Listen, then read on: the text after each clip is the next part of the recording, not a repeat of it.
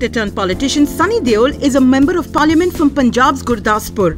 However, recently missing posters of the actor have appeared in Pathankot.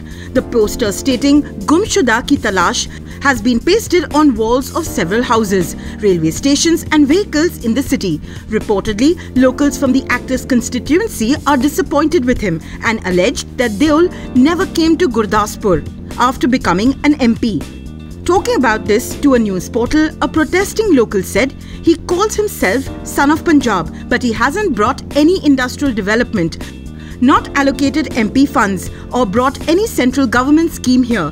He should tender his resignation if he doesn't want to work. For more news and updates, stay tuned to E-Times.